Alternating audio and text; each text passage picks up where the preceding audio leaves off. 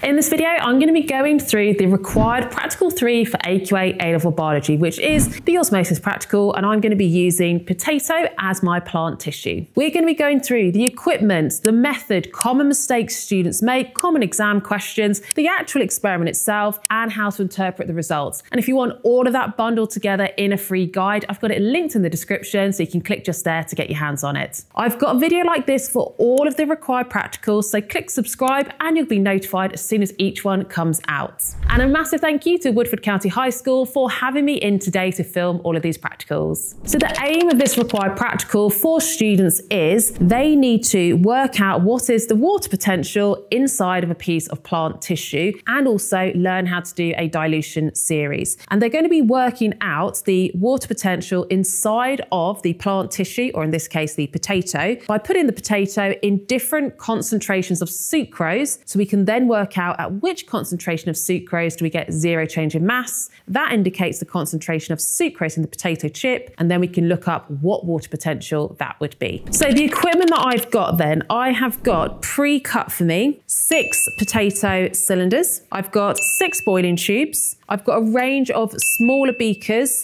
and also my distilled water and one mole of sucrose solution to start with. Those I'm going to be using to create the dilution series, as well as these different size syringes. I've got a 10 milliliter and a 5 milliliter syringe. I'll be using those in my serial dilution.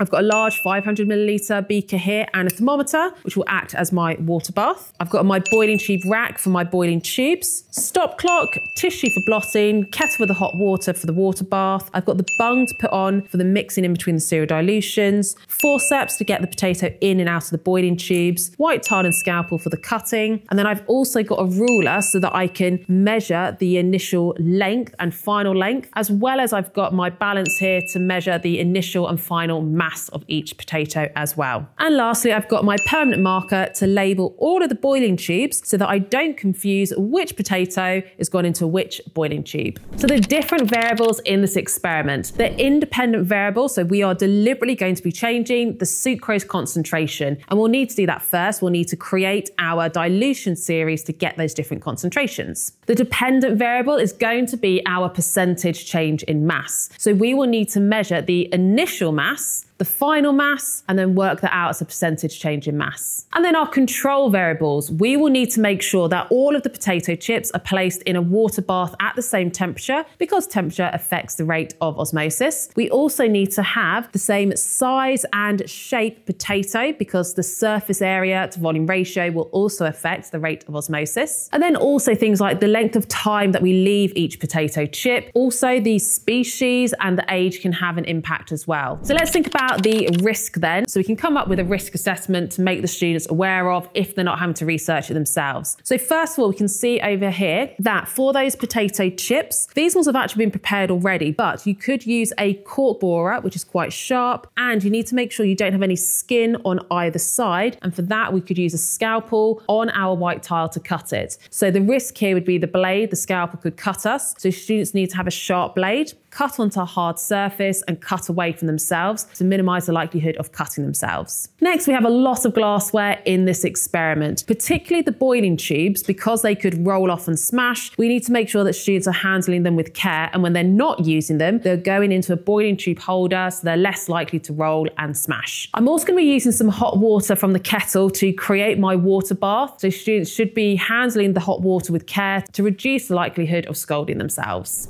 So my first step step then is to create my dilution series. So we can see here on the table, these are the different concentrations of sucrose solution that I'm going to be making. 0, 0 0.2, 0 0.4, 0 0.6, 0 0.8, and 1 moles per decimeter cubed. And we've got the different volumes there in the table that I'll need to add of my distilled water and of my sucrose solution. So I'm actually going to label my boiling tubes now. So this will be my 0, so that'll be just distilled water.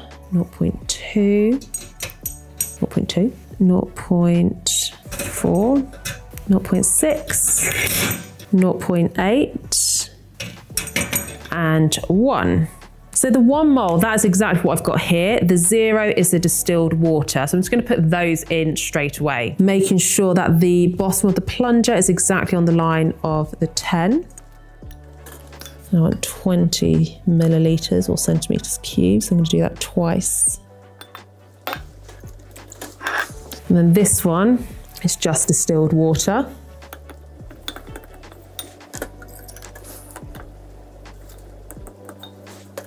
Okay, so that's those two made. The rest now, we are going to need to create these different concentrations. Now all of these need to have the same volume in and we're having 20 centimeters cubed. So the students could either do a dilution series or like the table that I showed, they could work out using the serial dilution calculation to work out what volume of the one molar sucrose solution do they need to add and what volume of the distilled water do they need to add. Now the next one that I've got is 0.8. So I need to have 16 of sucrose and four of water. So 16 that's 10, 16, and then four of water to add up to 20, so the same total volume. Then we have got 0.6. So for this one, I need 12 of sucrose and 8 of water. Now we have our 0.4, which is the reverse of this one. So we now need 12 of water and 8 of sucrose. And then our final one, 0.2, we're going to need 16 of water and 4 of the sucrose. For the 0.2, we need 4 of the sucrose solution and 16 of the distilled water. 4 or this one. So I've got all of those, but for each one, I'm just gonna place the bung in and just invert to make sure we do have that thoroughly mixed. So we have the concentration we're expecting. I'm just dabbing it each time to reduce transferring over any.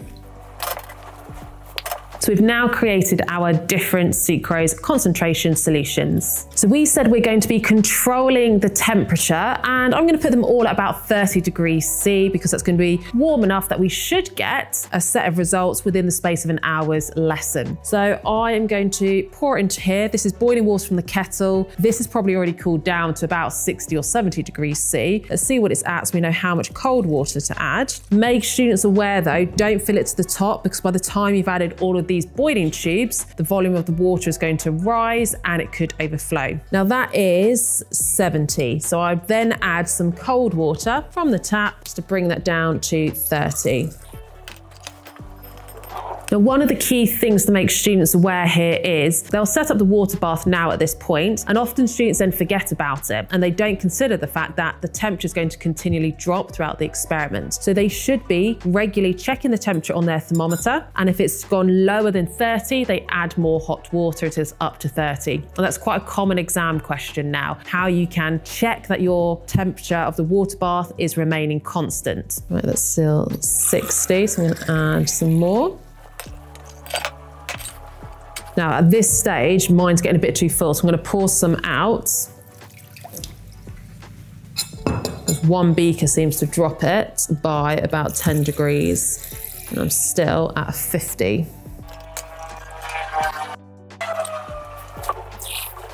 Now, depending on what temperature the hot water comes out of your taps, you probably wouldn't actually need a kettle for this because that was obviously a lot hotter than 30 degrees C. The water coming out of the taps may well be about 40 to 45 degrees C, so you might not need the kettle. So that's something that you could test in advance. So I've now got mine down to temperature. And what I'm gonna do next then is place my boiling tubes into the water bath. And yeah, even mine there is too full.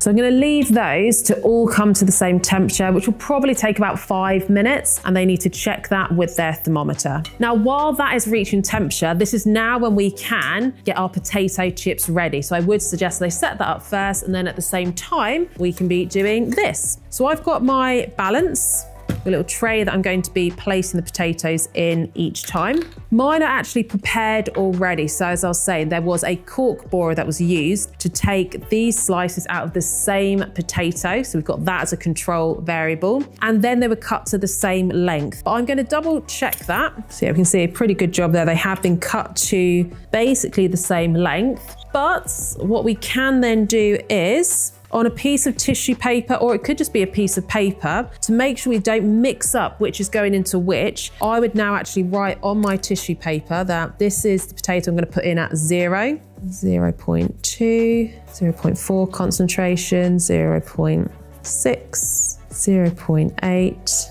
and 1. I've also got some tissue paper here ready to blot them dry. And again, not squeeze, because if you squeeze, it's going to draw water out from within the cells. We just want to remove any of the water on the outside because that's not actually the mass of the potato. That's just water on the outside. So now I'm just going to press the zero button so it knows that that is zero mass with that tray on place my potato chip that I've blotted in and I've got 6.02. You could, if you wanted to as well, get students to measure the initial length and final lengths. We could do a percentage change in length and a percentage change in mass. I'm just going to do percentage change in mass for now. And that is the one that I'm going to place in the zero concentration. So this is how I'm going to be keeping track of it. And then you need to do that for all of your potato chips.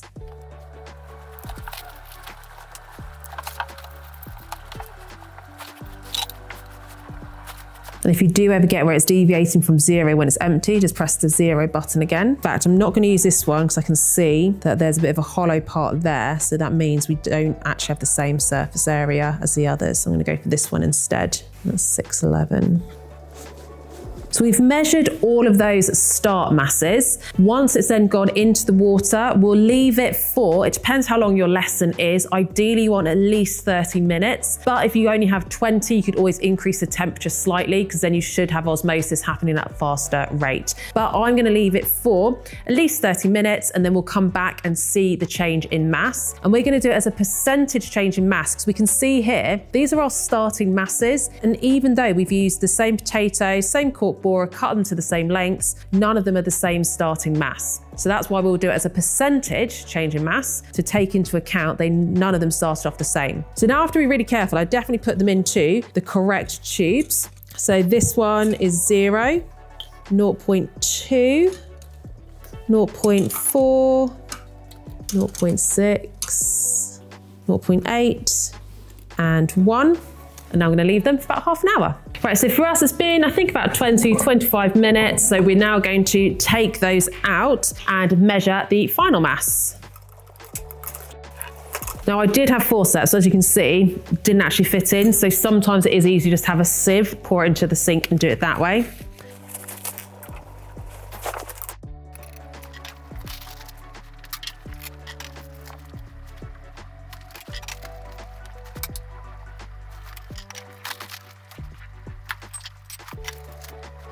Now we have it, we've got our final results as well on a tissue, but that would then need to be recorded into a proper table and plot your percentage change in mass against the sucrose concentration. So while we're waiting for osmosis to happen to be able to actually see any impact on the masses, let's think about what the results would be. So students are going to measure the initial mass and the final mass, and then they work out the percentage change. And this is how students would calculate the percentage change. The equation, percentage change in mass brackets final mass minus initial mass brackets divided by initial mass.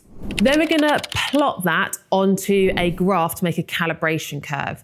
So on the x-axis, students will need to plot their sucrose concentration, and on their y-axis, they would have their percentage change in mass. And if they have multiple repeats or you're pooling the class data and calculate a mean, then that would be the mean percentage change in mass. Students can then plot their curved line of best fit to create that calibration curve. And it's at the point that the line crosses the 0% change in mass, that indicates the concentration inside of our power potato chips. And then we could look up for that sucrose concentration, what is the water potential? And in that way, we have used a dilution series of sucrose concentrations, doing the osmosis required practical to identify the water potential of plant tissue, in this case, our potato plant. So in summary, some of the common mistakes to look out for are the labeling of the potatoes to make sure they're going into the correct boiling tube. So doing something like this, where you are literally labeling on a piece of paper which piece of potato is going into into which boiling tube and what was their start mass. And make sure you're taking it out and placing it in the same place. And all of these are labeled. That should really help.